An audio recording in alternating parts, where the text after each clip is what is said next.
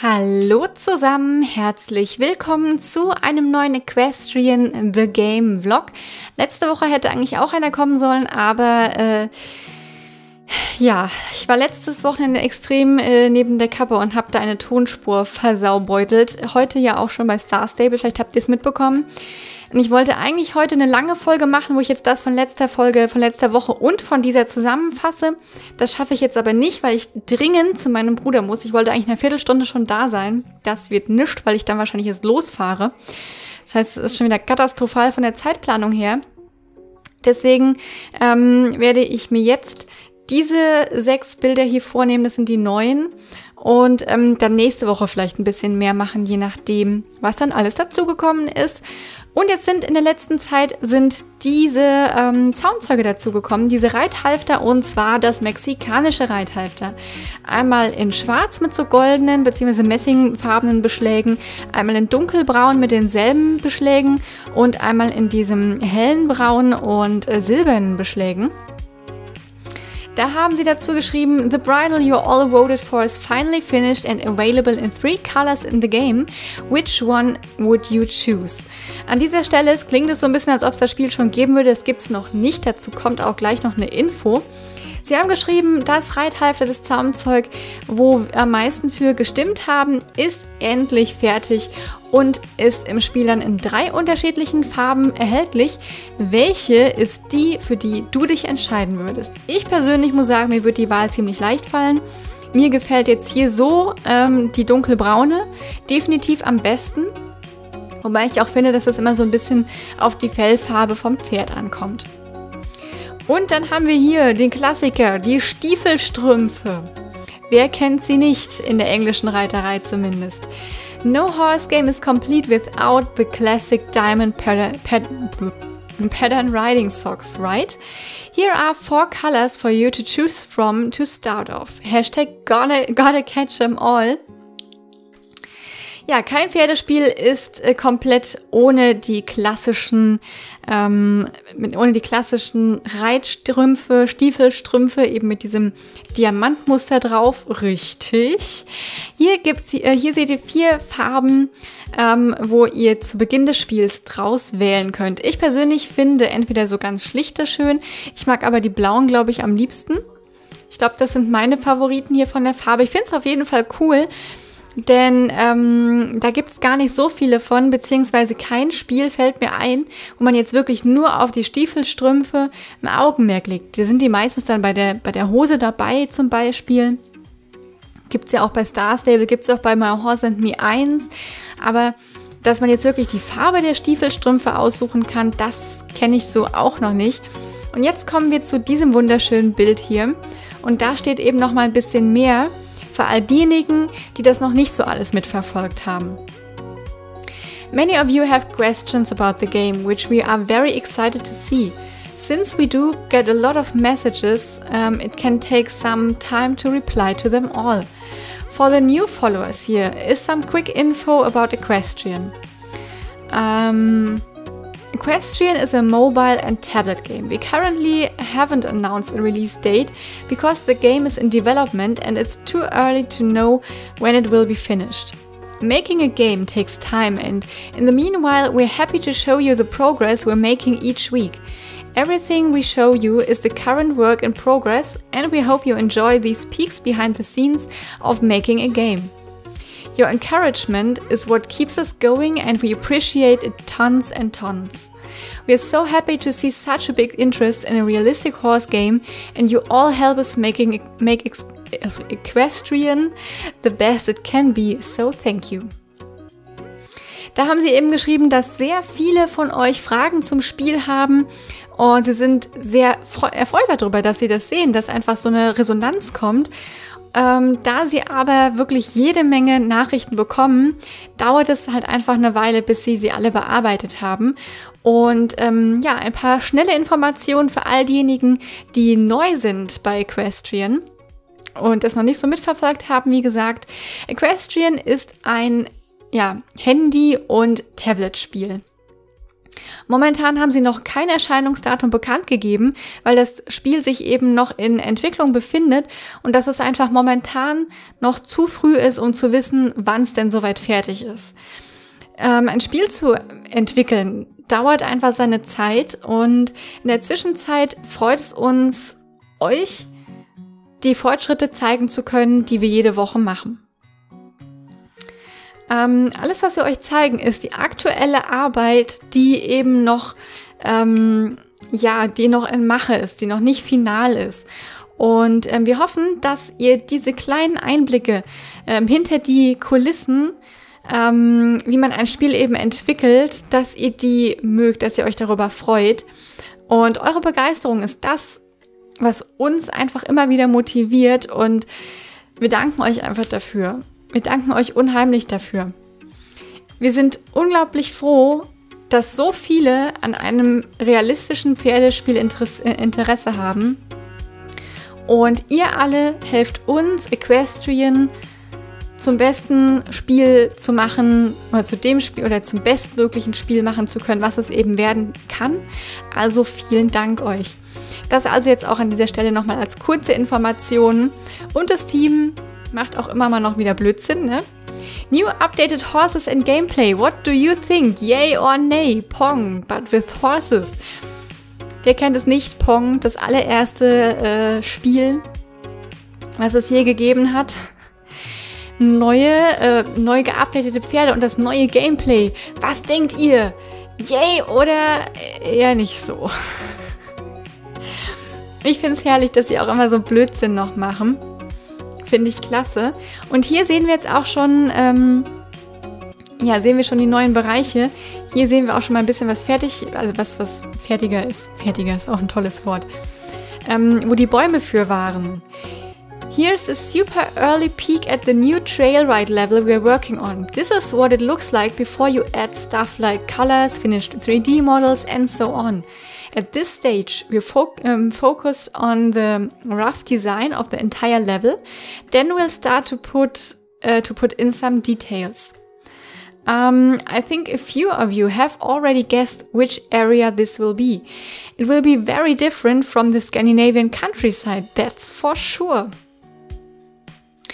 Hier ist ein sehr, sehr früher äh, Einblick in das neue, ähm, in das neue Ausreitgelände-Level, an dem wir arbeiten. Und ähm, so sieht es einfach aus, bevor wir Sachen hinzufügen, wie eben die Farben, ähm, fertige 3D-Modelle und so weiter und so fort.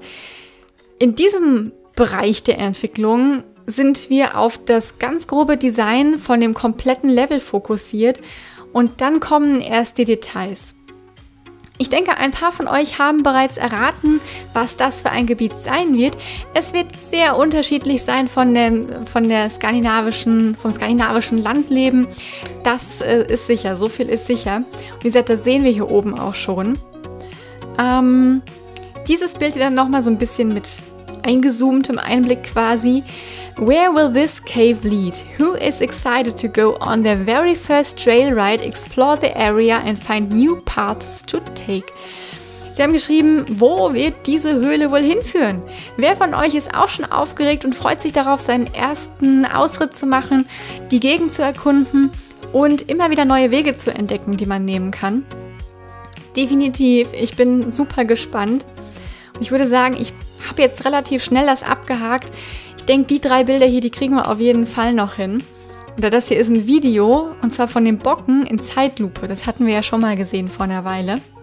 Slow-Mo Animation in the works. Take that one rider who always has to go through this. Slow-Motion-Animation in Arbeit. Und äh, sie haben geschrieben, dass man den einen äh, Reiter taggen soll, der sowas immer mitmachen muss. Habe ich auch schon mitmachen müssen, aber ich muss ehrlich sagen, ich finde es auch ganz cool, wenn die Pferde so sind. Ich finde das Buckeln mega cool, auch wie es ja dann nochmal auskeilt, ganz ehrlich. Aber es hat immerhin den Kopf nicht zwischen den Beinen. Das ist gut, wenn das Pferd bei so einem Kick noch den Kopf zwischen die Beine nimmt, das ist richtig arschig. Das sage ich euch. Sieht das nicht mega aus, nur mal so nebenbei gesagt. A bunch of rocks that will be used in our upcoming trail ride area. Can you imagine it all coming together? At the end, at the end, you'll have a finished trail area to enjoy, but there's still work to be done, so stay tuned.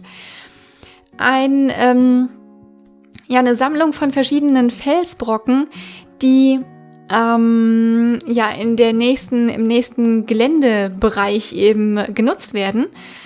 Ähm, könnt ihr euch schon ungefähr vorstellen, wie es aussieht, wenn die alle zusammen so eingesetzt werden und in der Map drin sind? Mm, am Ende werdet ihr ein, ein, ein fertiges Ausreitgelände haben, ähm, wo ihr Spaß dran haben könnt. Aber da ist immer noch einiges an Arbeit, was gemacht werden muss. So, äh, also ähm, haltet weiterhin ein Auge da drauf. Bleibt am Ball, sieht auch mega aus, ne? Dann war ich, ich hatte nämlich letzte Woche, hatte ich vermutet, dass es so Canyon-mäßig wird. Entweder Canyon im Wilden Westen oder irgendwo im Australien. So, da hast man ja auch, ne? Wenn ich jetzt an den IS Rock denke, dann hätte es auch gepasst. Aber wenn ich das jetzt so sehe, dann würde ich wirklich sagen, das ist eher Wild West. Das ähm, würde ich sagen, ist dann eher da angesiedelt. Und wir haben Gamaschen. Da hatten wir schon mal Farben von gesehen. Ich weiß aber nicht mehr, welche das gewesen sind. Ähm, Blau, Weiß und Schwarz hatten wir gesehen. Da sind noch braune bei. Die sind jetzt definitiv neu. Die kennen wir so noch nicht. Legs for days. What kind of gear and tech do you use for your horse um, or the horse you're riding? We suppose most usually um, use at least a saddle and bridle, but we know there are some tackless riders out there as well. Ja, im Endeffekt sind die Gamaschen hier an dieser Stelle nur so ein bisschen so ein Bild für Aufmerksamkeit, denn ähm, sie haben da auch Fragen gestellt. Sie haben geschrieben, ähm, ja, Beine für Tage. Ich habe, das ist wahrscheinlich irgendein Sprichwort, was ich dann nicht kenne. Ähm, welche Art an Ausrüstung und ähm, Sattelzeug nutzt ihr auf eurem Pferd oder auf dem Pferd, was ihr reitet? Ähm, wir vermuten mal, dass die meisten einfach einen Sattel und ein Zaumzeug nehmen mit Gebiss. Ähm, oder eben auch ohne. Aber wir wissen, dass es auch einige ähm, Reiter gibt, die ohne Zaumzeug reiten, beziehungsweise ohne Ausrüstung generell.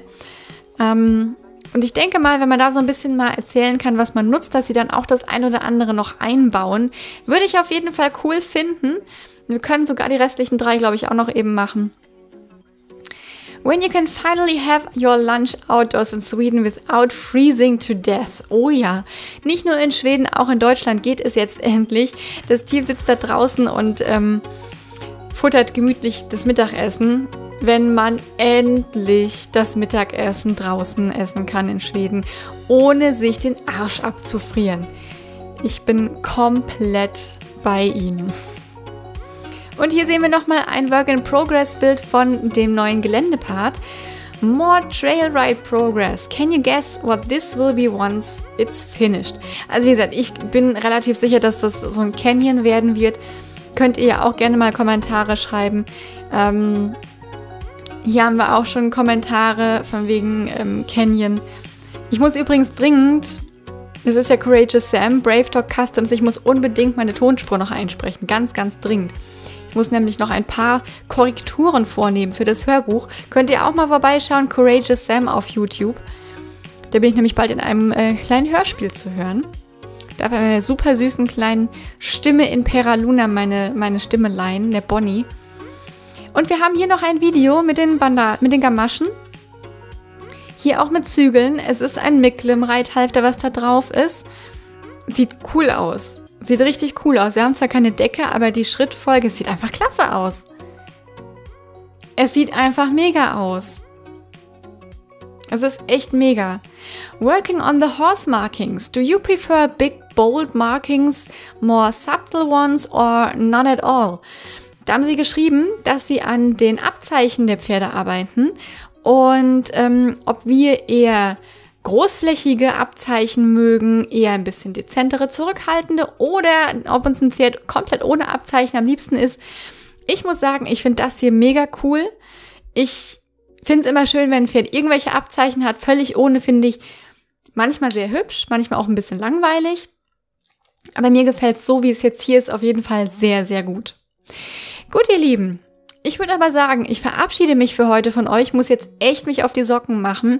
Ich bedanke mich ganz herzlich fürs Zuschauen und ich würde mich natürlich freuen, wenn euch das Video gefallen hat. Wenn ja, lasst doch einen Kommentar und einen Daumen nach oben da und macht's gut. Bis zum nächsten Mal. Tschüss!